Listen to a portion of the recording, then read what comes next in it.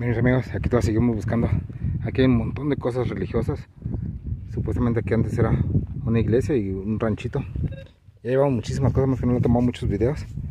Porque andaron muchos compañeros y bueno, pero aquí cuando puedo les saco más videos.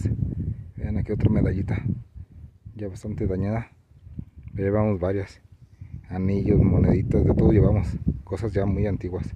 Saludos, Buscadores de Sol, Michoacán.